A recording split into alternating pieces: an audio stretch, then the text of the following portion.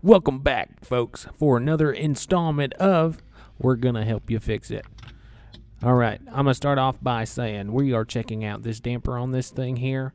Whenever this thing's running, it's not cooling the refrigerator section. So, what we do, we hold those two buttons on the left hand side, go to test three, and this will run the evaporator fan and open and close this damper.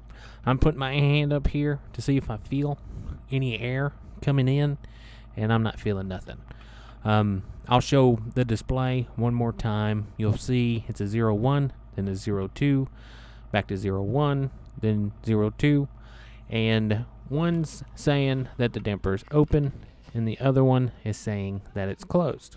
So you see the 0, 1 there, 0, 2, you'll see 0, 1 again, and that's just telling you that it should be open or it should be closed. So whenever it's changing, it should be one or the other. And it's one of those tests that, you know, do it automatically. But um, I'm not feeling anything come through this. I'm not hearing anything either. So we are going to investigate this little damper here and see what's going on with it. Uh, spoiler alert, the problem is the damper. Uh, so we're going to be replacing it as well in this video. And um, yeah. Yeah, so if you're here because your freezer is working and your refrigerator is not working and you have a side-by-side whirlpool that looks like this, um, this is one of these things I would check out.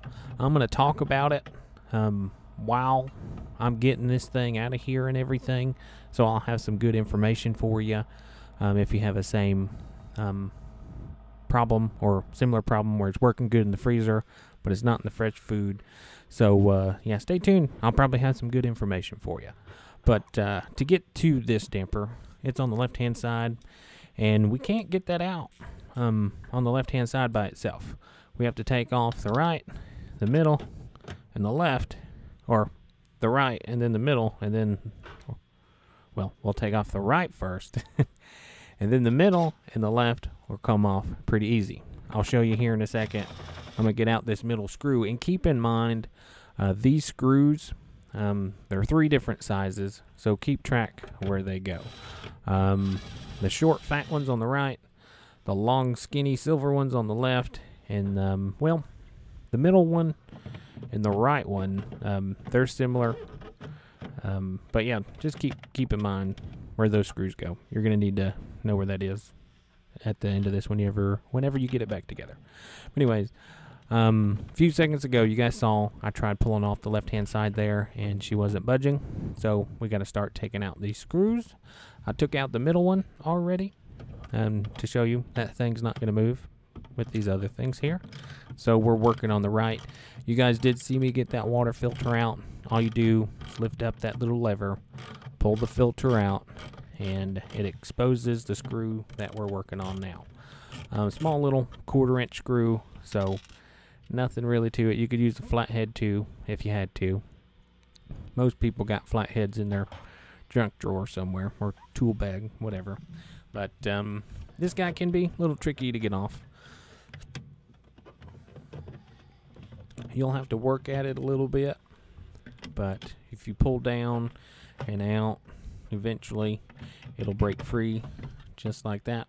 Um, I make it look easy. Well, except when we when we get to the end of this, putting that part back on, it took me too long to put it back on. but uh, anyways, got the right piece off, and you see the left and the middle come off easy, and boom, this is our damper uh, that whole styrofoam piece. And what a damper is, guys, it's a door that opens and closes. And whenever it's open, it lets that cool air in to the fresh food side. And then whenever it closes, it closes off that cool air. So if it's cold enough in the refrigerator section, um, it's going to close it. And if it's, you know, gets cold or like, hey, I'm good, I don't need to be any colder, but it needs to work on the freezer, it'll close it. So um, that's pretty much what this thing does. The older fridges didn't have it, but you guys saw me take off that uh, wire connection there, and boom, she's out. Uh, not much to it. All right, uh, I am grabbing, or I'm actually checking it out right now behind the camera, seeing what's going on with it, and then um, I'll show you guys a little bit what I see. But the door on this damper, it it's out of whack. All right, here it is. And you'll see, well, whenever I show you the new one, you'll see the difference. But that black piece is supposed to be on that crease on the right-hand side there. And you can see that thing is mangled on the inside of it. That little white quarter or part of a quarter looks like a little half moon. That's actual motor piece that actually moves. And uh, things are just missing on the inside of this. Um, so we went ahead and got another one for it. And here in a minute, I'm going to show you what it's supposed to look like. And um, another thing, while we're waiting on me to bring this in front of me here, there's some things that, other things that can cause your fresh food section to, um, you know, quit cooling, but your freezer's okay. And inside this damper, there can get some ice built up, and that can happen by leaving your door open. Uh, if you leave your door open, um, you're going to pull more warm air in, and when you pour more warm air into cooler air, um, it condensates, and vice versa too. So just picture your, so you get a glass of ice water, um, and you set it out room temperature, it'll condensate. Inside these refrigerators, it, does the same thing. So if that door's open and warm air is exposed to this temperature here, um, it's going to condensate. And whenever that happens, up in that uh, section, yeah, pretty much in this area that I'm showing you right now, ice can get caught in there. But that's what a damper is supposed to look like. In this damper here, guys, um, it is damaged. Uh, you'll see the styrofoam. Um, there's some missing pieces of it, and that's why whenever you get these things, especially if you're a technician like me, you want to check the the parts and make sure they're good. I didn't open this box until I I got there today, and this is one of these things that drive me crazy. But that's what it's supposed to look like, and there's no way you can get that damper out and put it in the new one. So um, I had to get the customer another one. Um, put it in here. I actually left it in here um, just so her fresh food section would work. So she had all her food at a family member's house. So I at least got it running for her. And I got another one to put in. So, um, you know, everything's good to go. She got the right part that she paid for. But, um, yeah, you're going to see me just finish putting this thing in. And you saw me connected the harness there. And this thing will fall down if you let go of it. but, um, you got to be careful. Maybe you can get it up there and hold it in spot for you while you get the other pieces here. Um, what I would recommend, um, I wouldn't do what I do in this video. I'm just thinking of some other ideas because you'll see how much trouble I have getting that last piece in. These first two, no trouble whatsoever. Um, but the one on the right, it probably took me 20 minutes to get that sucker back into place. Um, but yeah. I would keep the screws off if you can. I mean, if you have to, you can put the screws in there if uh, they they keep falling out. But uh, or at least the screw on the left hand side, and keep the one in the middle out, so you at least have um, some play to get that right one back in there. So that's my recommendation for you. And if you want to do it the way I do it, that's fine. Um, you just may run into trouble like I did. Um, I replace this guy maybe twice a year, so I haven't seen one of these in I don't know eight months or more. It's been quite some time. Um, but you remember what I was telling you about these screws here. All right. You got the short fat one on the right. That's the one that goes on the right. And then, you know, the gold one in the middle with the bigger washer. Well, it's not a washer, but it has a bigger head that, you know, mimics a washer.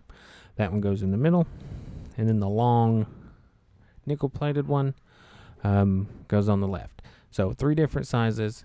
Just remember where they go. And if you have to, you can reference this video if you need to. But, um, yeah, I'm going to put this middle screw in. But I would try and hold off if you can.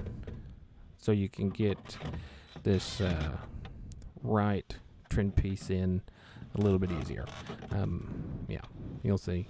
I'll probably just be talking about something else when I'm doing it, but um, it took me a while to get it back together. But I mean, once you get this thing back together at the end, we will do that test we did at the beginning of the video to make sure it's working. Um, you know, if you run into this and you do this test and you are feeling air come through and then stop and then air comes through again, uh, you know your damper's working correctly and you got something else going on. But um, anyways, back to it. We got those two screws in, the one on the left and the one in the middle. And we're going to start working on this panel on the right side here. And I'm actually going to fast forward it a little bit so you guys ain't, you know, just dreading like, come on, just get it in already. I'm just going to show you, um, there's a little tab and a hole that that little guy goes in. That guy right there. Uh, you pretty much just push that through and you try and wiggle it into place. And this is where I was telling you if you would um, leave that middle screw loose, um, it may help you to actually get this guy in here. But this part took me way too long to get it back in. Um, like getting it off, you saw, took no trouble. Took maybe five, ten seconds, maybe. I'm here investigating, trying to see um, why this thing isn't isn't going in properly, and didn't see anything out of the ordinary. But um, eventually, I find out in the back uh, where my left thumb was just then that um, it's hanging up on the top, and I get a screwdriver, a Phillips small little Phillips screwdriver, and I pry it over somehow. I mean, it just wasn't seating in there correctly. And um, I will actually slow the video whenever I figure that out. Uh, but to be honest, this is probably the hardest part of the video is trying to get this panel back in. And I mean, if you really wanted to, I guess you can keep it looking like that. Um, May with dealing with another person's uh, property, I like to leave it the way I found it. So um, even though this thing gave me a trouble, I still wanted to make sure that it was put together properly. But uh, yeah, this is where I realized, oh snap, that thing's not uh, flush. So boom, got me a screwdriver. I'm gonna pry it over a little bit, and then you'll see eventually, whenever I get it, anyways, that it falls right into place.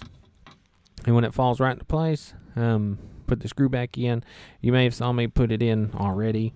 I was trying to see like, hey, is this thing gonna put it back in the right spot? And you guys may have seen, um, it popped right back into place, and everything's nice and clean and mostly straight. But um, it's better than it was for sure. Like it was completely obvious, uh, standing where I am now, um, that it looks a heck of a lot better. with it all the way in than partially in. But um, anyways, um, this panel's in. Got that screw tightened up. Everything's nice and straight. And that's the part I had trouble. That part down in there. Um, if you have that issue, maybe a screwdriver will help you out too. Um, if you do it the way I did it. Um, let me know in the comments below if you guys do try it without putting the middle screw in and see if it is a little bit easier. If it is a little bit easier, let me know. And if so, I will do that next time myself. Um, but this is pretty much it.